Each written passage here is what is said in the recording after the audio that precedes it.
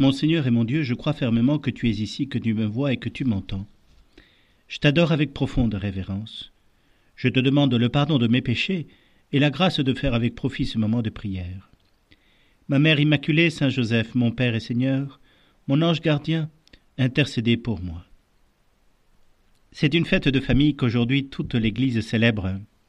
Non pas parce que nous avons passé l'année, vive l'année de grâce 2023, bonne année, mais aussi parce que nous célébrons Marie, Mère de Dieu.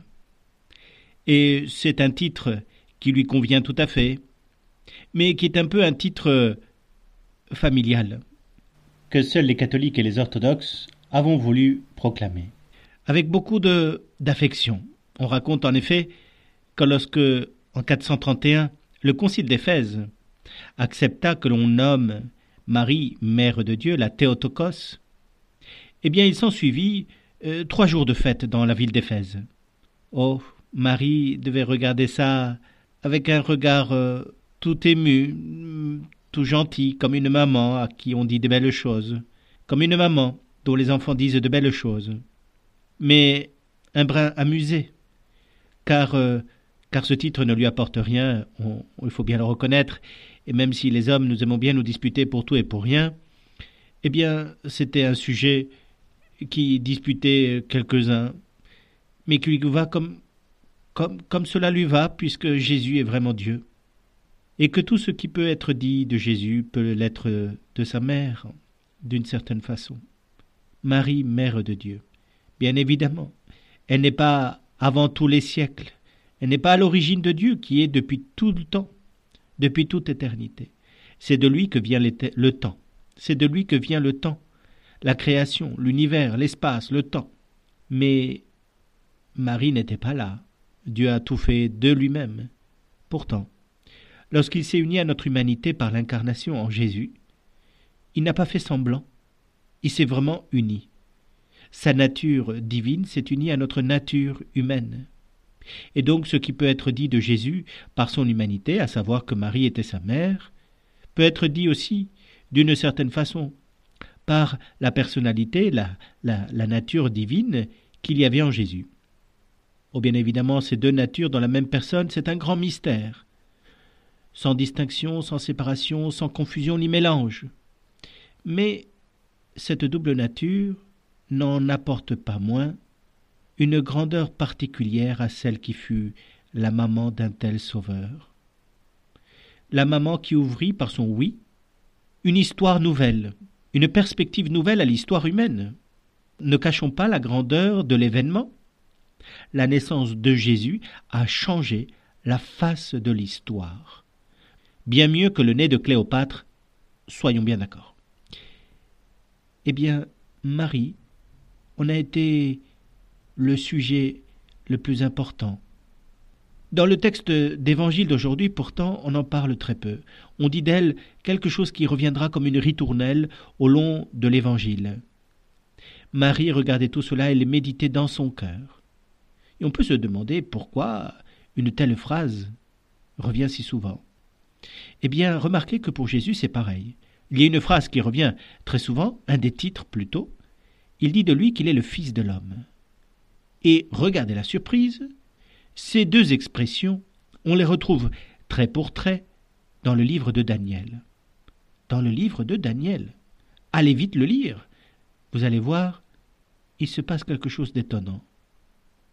Avant que Daniel le prophète voit, est une vision apocalyptique, il faut bien le dire, sur la réalité profonde de notre univers, sur comment se déroulent les événements, leur, leur, leur fond spirituel, eh bien, il eut la même expression.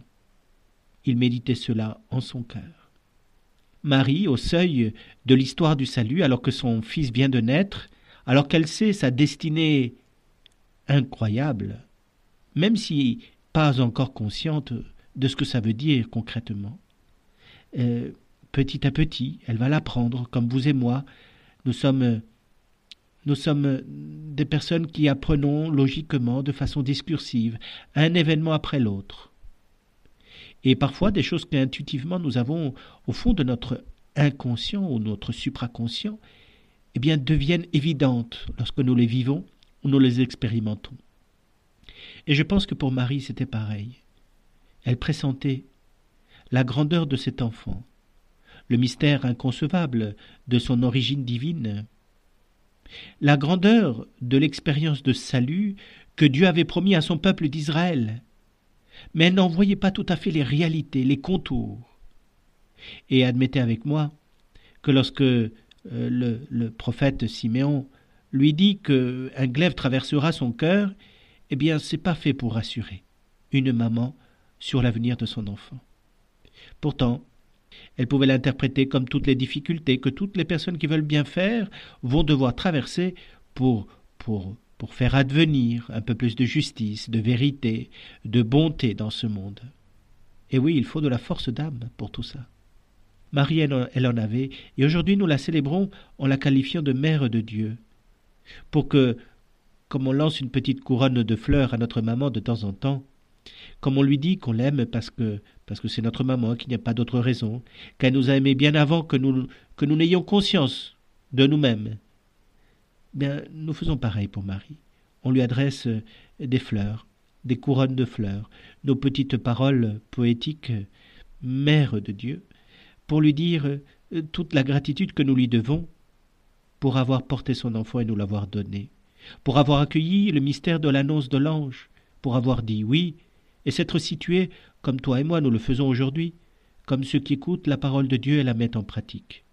Nous écoutons cette parole et nous demandons à Dieu de nous aider à la mettre en pratique par l'action de l'Esprit Saint. Et cela réjouit tout le ciel, comme le jour du concile d'Éphèse, eh bien cette proclamation dogmatique de la maternité divine de Marie selon la nature humaine de Jésus, mais accueillons la plénitude de la nature divine qu'il y avait en Jésus, eh bien, comme le peuple de Dieu s'est réjoui ce jour-là, tout le ciel se réjouit de ce que Marie soit qualifiée de mère de Dieu, parce qu'elle l'est pleinement. Elle, la fille d'Israël, elle, la fille de Nazareth, elle, la fille de Joachim et de Anne, une fille comme tant de filles, mais toute consacrée à Dieu, et qui, cherchant, en écoutant la parole de Dieu à l'accomplir en elle, a eu la, la grâce infime, intime aussi, de faire naître le Verbe de Dieu, la parole incarnée, dans sa propre chair. Quel titre admirable, tu ne trouves pas? Et ce titre lui convient, même s'il a un côté un peu trop humain, on aime toujours grandir ce que nous admirons. Alors que Dieu n'a pas besoin de grandir énormément ce qu'il est. De fait, on se comprend très bien, il n'a pas besoin.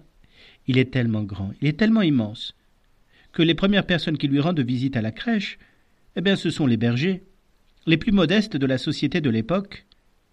Et les plus modestes, vous le savez, ils ont toujours euh, un cœur ouvert à l'imprévu, un cœur ouvert à la bienveillance de Dieu, un cœur ouvert à la beauté et à la grandeur de cette vie qui, hélas, parfois devient violente à leur égard. Ils savent percevoir quand Dieu leur parle. Et ils l'ont perçu, ils étaient là pour la crèche. Ils étaient là pour la naissance de Jésus. Les bergers. Et toi et moi peut-être aussi, parce que nous faisons partie hein, des, des, des miséreux de la société. Et, et cela importe peu. Ce que le monde pense de nous importe beaucoup moins que ce regard que Dieu a posé sur toi et moi, et qui nous a dit eh bien, toi, je t'invite chez moi. Viens me contempler dans la crèche. Viens me prier dans ton cœur. Et je viendrai demeurer en toi. Et mon Père trouvera ses délices à être avec son Fils. Et l'Esprit Saint nous fera connaître toutes choses en son Fils. Et ainsi, toi et moi, eh bien, par cette petite prière, nous réjouirons Dieu dans sa Trinité et même Marie, la Mère qui regardait toutes choses dans son cœur et les méditait. Eh, tu saisis? Tu vois le petit sourire qu'elle a au coin des lèvres quand toi et moi nous prions? Eh bien, réjouissons le cœur de notre mère et prions ardemment. Seigneur, je te remercie pour tous les actes d'amour, les inspirations que tu m'as données pendant ce temps de prière. ma Mère Immaculée, Saint Joseph, mon Père et Seigneur, mon ange gardien, intercédez pour moi. Amen.